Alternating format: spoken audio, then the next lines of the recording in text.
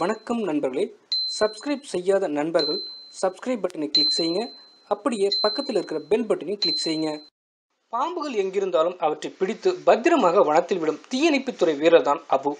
விஷமுள்ள ராஜநாகம் கடித்து அவர் மரணமடைந்துள்ளார். அதாவது பாம்பென்றால் படையும் நடுங்கும் என்பார்கள். முப்பத்தி மூன்று வயதான அபுஜாரின் உஷேனுக்கு பாம்புகள் என்றாலே கொள்ளை பிரியும்.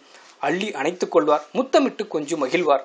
கோலாலம்பூர் தீயணைப்பு துறையில் கடந்த பத்து ஆண்டுகளாக பணியாற்றி வருகிறார். தீயணைப்பு துறையில் மீட்பு பணியோடு மட்டுமல்லாமல் பாம்புகள் பிடிப்பதிலும் வல்லவர். அதாவது குடியிருப்பு பகுதிகளில் உள்ள பாம்புகளை கொல்லாமல் அதை பாதுகாப்பாக பிடித்து வந்து உயிரியல் பூங்காவில் விடும் பணியை செய்து வந்தார். கடந்த நான்கு நாட்களுக்கு முன் ஒரு இடத்தில் விஷம் கக்கும் ராஜநாகம் இருப்பதாக தகவல் கிடைத்துள்ளது. அதை பிடிக்கும் முயற்சியில் உசேன் ஈடுபட்டிருந்த போது அவரை பாம்பு கடித்தது. சிகிச்சைக்காக மருத்துவமனையில் அனுமதிக்கப்பட்ட உசேன் நான்கு நாட்களாக தீவிர சிகிச்சை அளித்தும் பலனிக்க பலனளிக்காமல் உயிரிழந்தார். பாம்பென்றால் படையும் நடுங்கும் என்பார்கள். உசேன் வீட்டிலும் சர்வ சாதாரணமாக பாம்புகள் உலாவரும் பாம்புகளுடன் சகஜமாக பழகினார். மக்கள் மத்தியில் பாம்பு காதலர் என்று செல்லமாக அழைக்கப்பட்டார் உசேன்.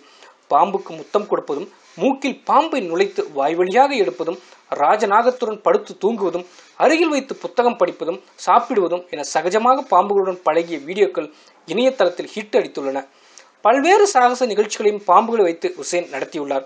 மிக கொடிய விஷம் கொண்ட ராஜநாகம் விஷம் கக்கும் நாகம் மாம்பா எனப்படும் ஆஸ்திரேலிய வகை கொடிய விஷ பாம்புகளை வைத்து உசேன் செய்த சாகச காட்சிகள் தொலைக்காட்சிகளில் மிகவும் பிரபலம்.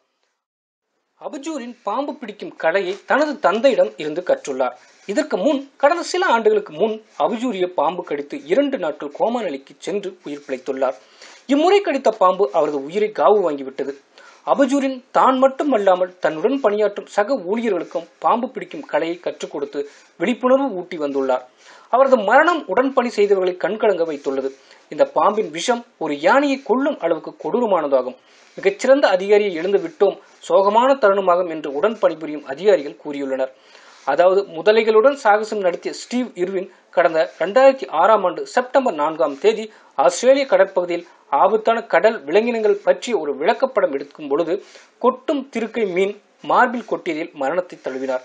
அதேபோல ஒரு மரணம் பாம்புகளின் காதலன் அபுவிற்கு பாம்பின் மூலம் நிகழ்ந்துள்ளது என்பது சோகமான முடிவே. நன்றி. தமிழ் டேட்டா சேனலை பார்த்தமைக்கு நன்றி. சப்ஸ்கிரைப் பண்ணுங்க லைக் பண்ணுங்க ஷேர் பண்ணுங்க.